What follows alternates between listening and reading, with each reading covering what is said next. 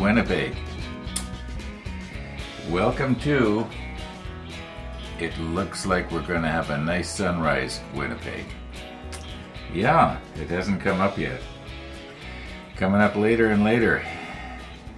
Um, before I forget, I just I just went through and read my comments and I replied back to Barry and I said I'll try and remember to elaborate. Elaborate on what? Barry asked. Well, I've thunked it down, so you, you you're reading it. Anyway, which one do I like better? Well, yesterday I went out on both. I went out on my scooter. Uh, I think three three different times, just trying to you know trying to still trying to get used to it. I've only gone a little over 200 kilometers on it in the last. When did I get it? About a week ago. Whereas the e-bike, I've gone almost a thousand kilometers on it. Now, which do I like best? Well, they both have their their their drawbacks, and they both have their positives. And uh, I would have to say that uh, the scooter is is a lot more thrilling. But you're you're always kind of a little bit uptight. At least I am. Uh, I think if I, if you were to get relaxed on one of those things, that's when you might get yourself into trouble.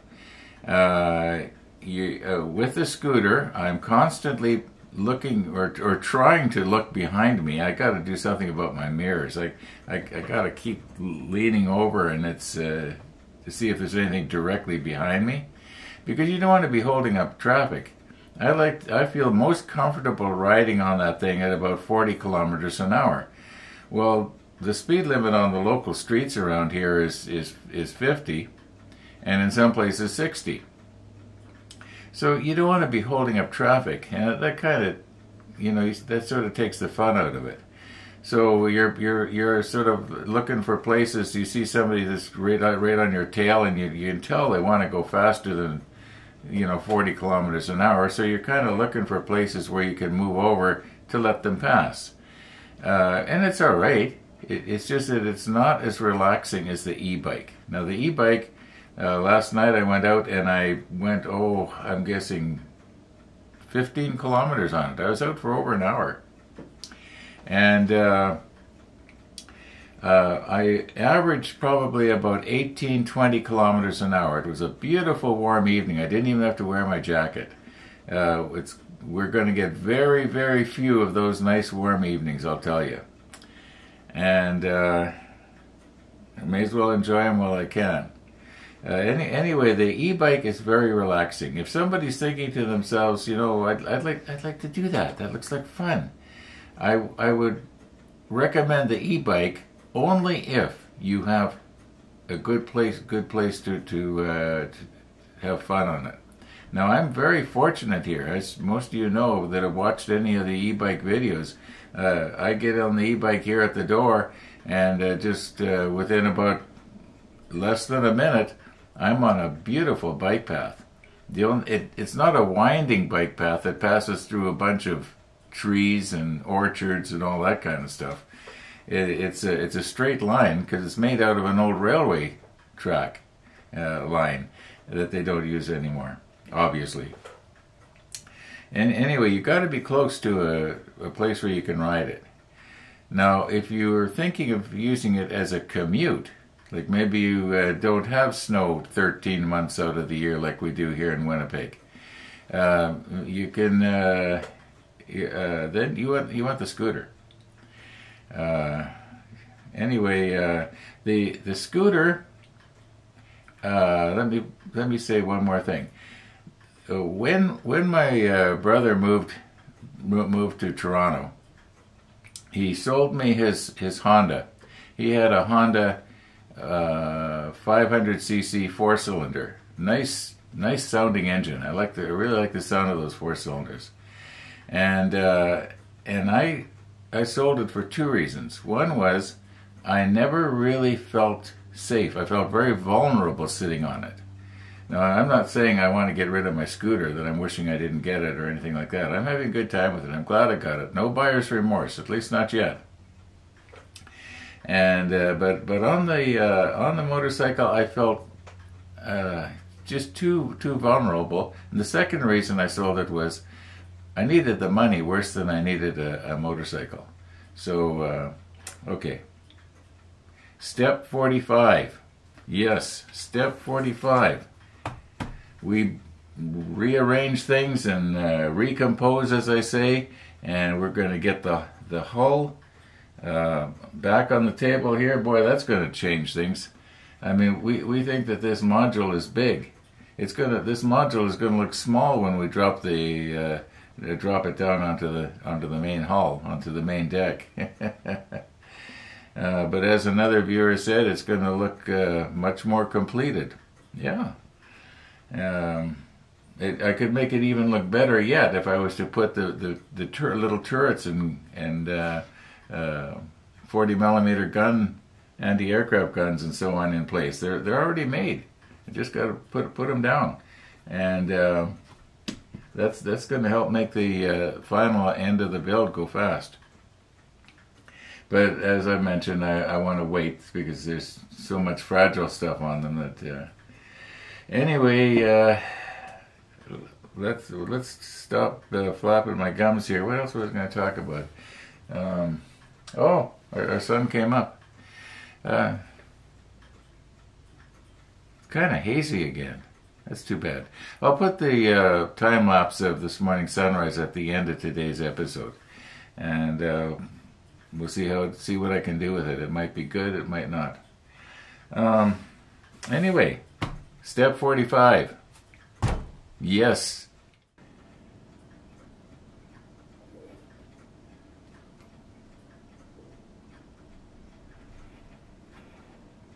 Okay, step 45.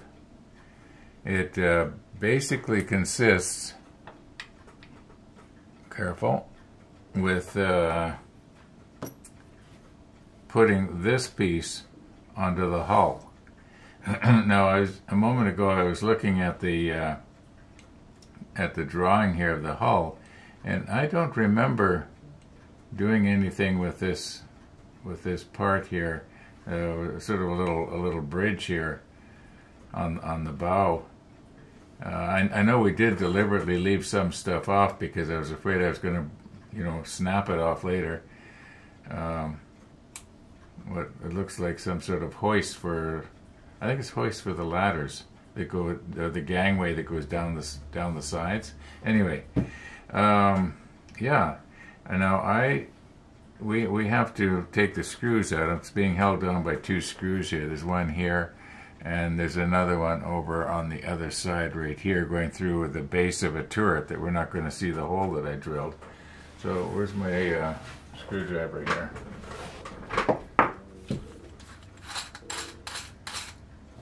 Okay, we'll use this one because it's nice and long.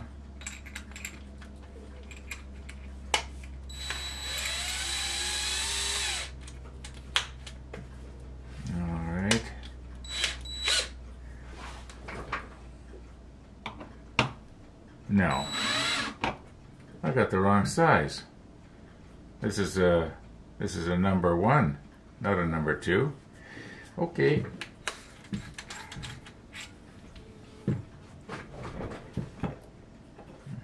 I think this is it. Yes. Well, I guess I'm not going to get to use my long one.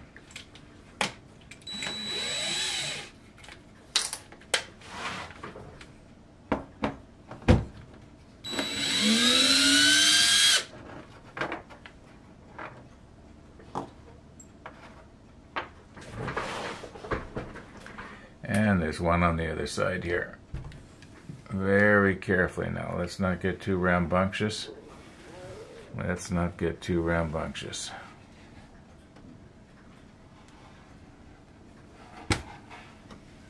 Okay, and once this is loose, I guess I'll have to take the hoops off. Oh, this this one here is a number two. I wonder if this will work.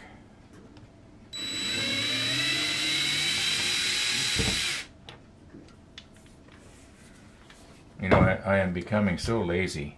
I could have used a, an ordinary screwdriver too. this one takes the red handle screwdriver, and the and this one takes the green. Uh, okay, let's be careful here, Ron. Once the uh, once the hoops come off, this thing is going to be really uh,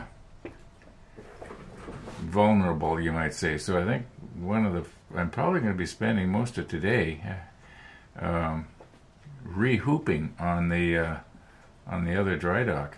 Okay, enough talk here.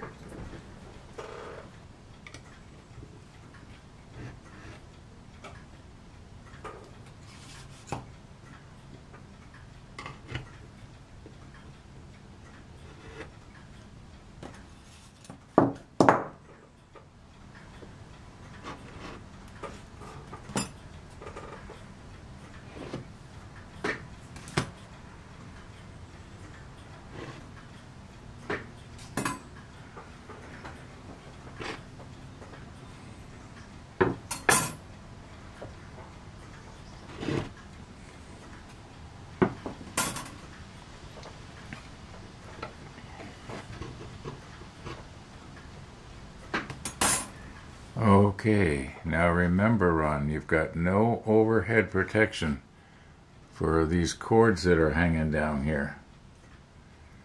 Um, I think we're ready to transfer onto the main hull. Let's uh, let's go get our main hull and set it down here.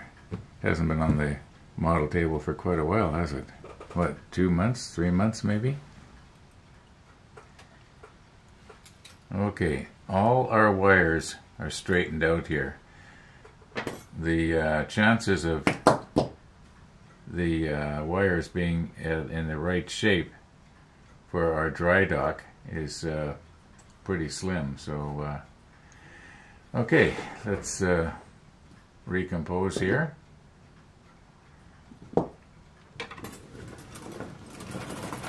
I'll bet you know what's coming, don't you?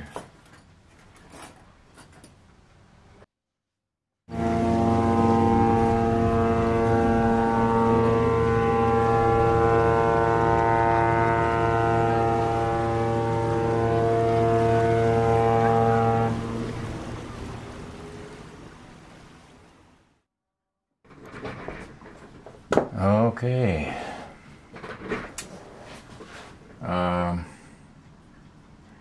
let's recompose here a little bit. And uh, I guess this comes off now. Oh, look. I did do that one.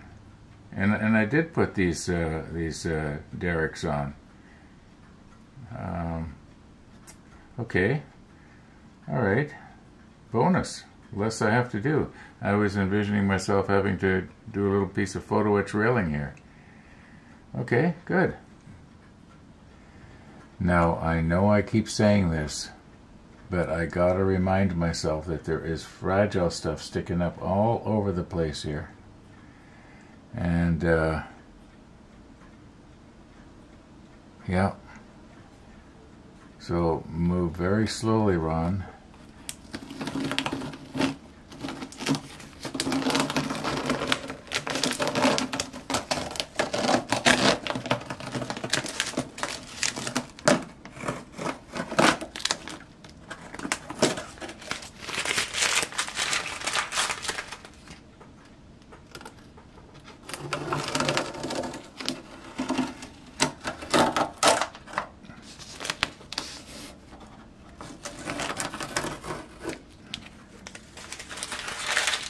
Okay, it's been a while since we've seen the inside of there. Alright, I think this hoop's going to have to come off. And uh, the one on the front, I think it can stay on. Yeah, I think it can stay on, but this has got to come off.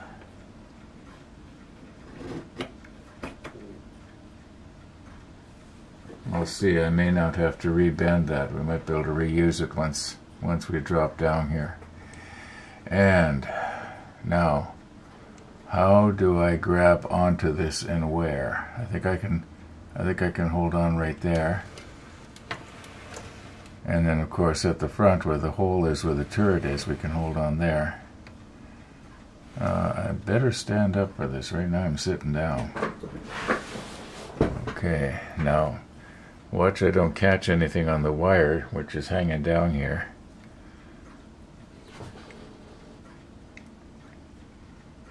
Okay, very gently here. I, that should hold pretty good. I'm not touching anything fragile. Yeah, it's not going to break off. And reach over. Oh.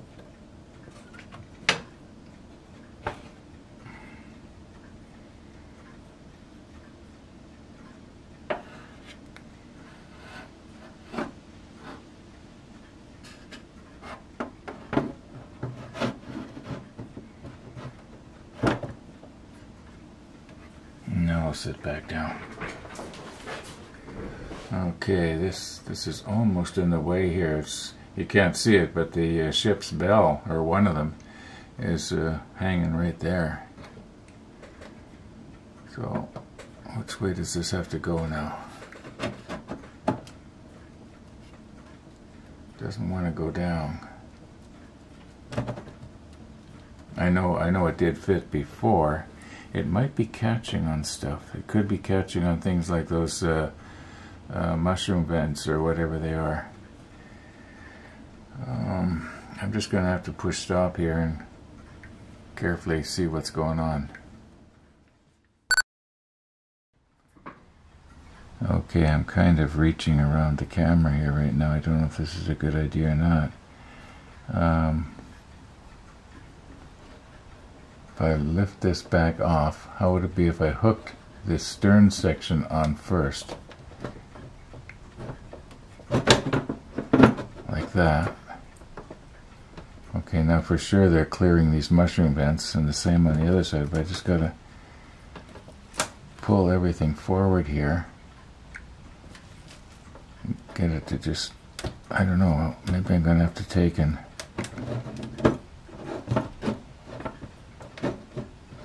take my hobby knife and go all the way around the that top edge. It, it should fit because we've had this on before and it fit okay. It's fitting there. It's, it's fitting there.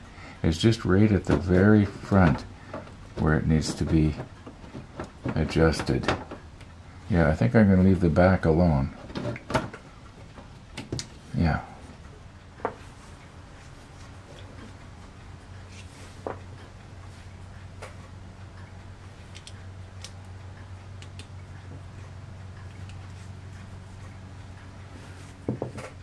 Okay. Now, how many times haven't I said very carefully now?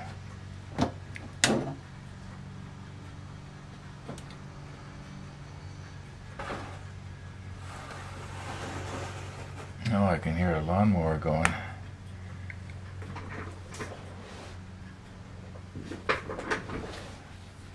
Um, well, I had thought that possibly I can sort of scrape the leading edges. At least that's the plan. I'm going to want to reposition though. Just, just, just to sort of bevel everything just a little bit. Yep, lawnmower's gone. I gotta go move my car.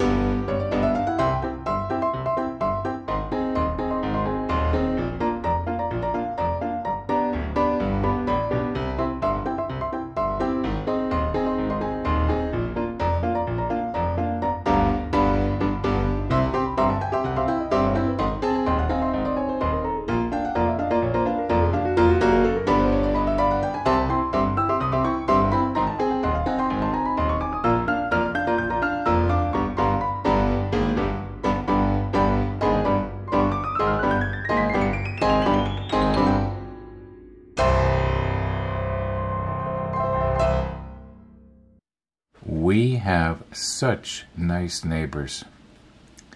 Thank you, Phyllis and Danny. Doing my grass once again. You know what? I think I'm going to move this.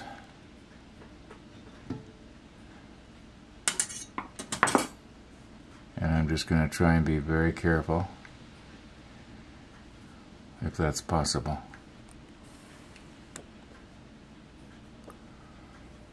Now the idea is to just shave shave the corner off here.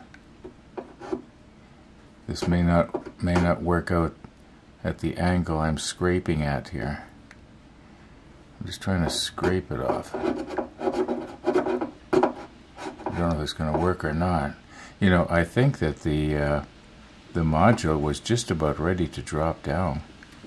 I, yeah, it's it's catching a little bit more than I had I had hoped. I would think it's probably a leading edge like this that's holding it so that the module can't come forward.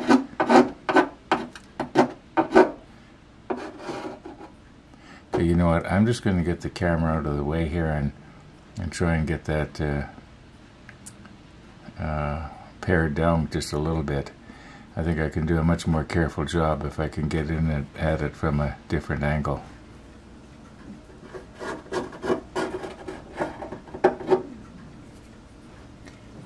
Okay, let's try this one more time.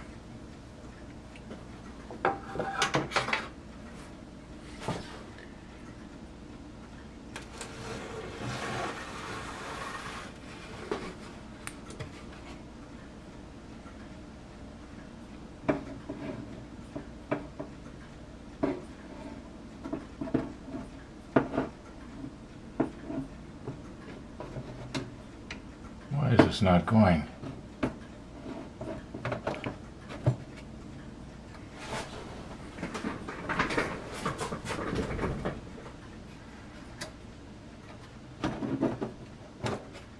Okay, now if I pull forward like this,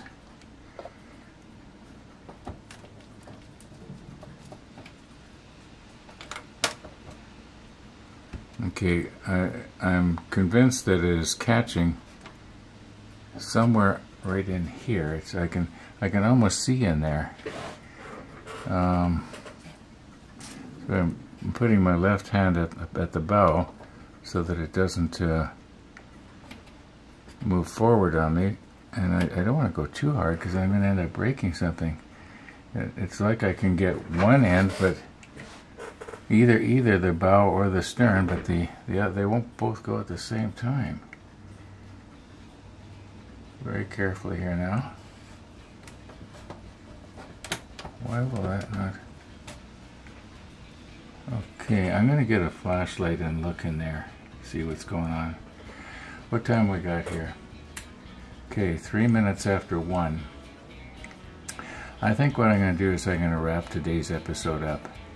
Um, we're, we're almost ready to turn the page because once this is glued down, uh, and, and my intent is to find out, you know, after it sort of snaps into place, see where where is the high spot like where there's a gap rather between the deck and the superstructure and just glue it there. No use gluing it down where it's already uh, you know being held in place tightly. And it won't take very much. It's uh, it, almost, it almost wants to stay there. Just, just let me give it one more try here. One more try. I'm reaching over top, being very careful to not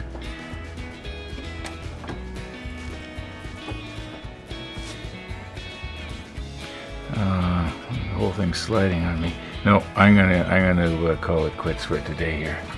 Uh, maybe I'll look at this this evening and uh, and see what's what. Anyway, I haven't done anything with the sunrise yet, so I don't know if it's good, bad, or ugly.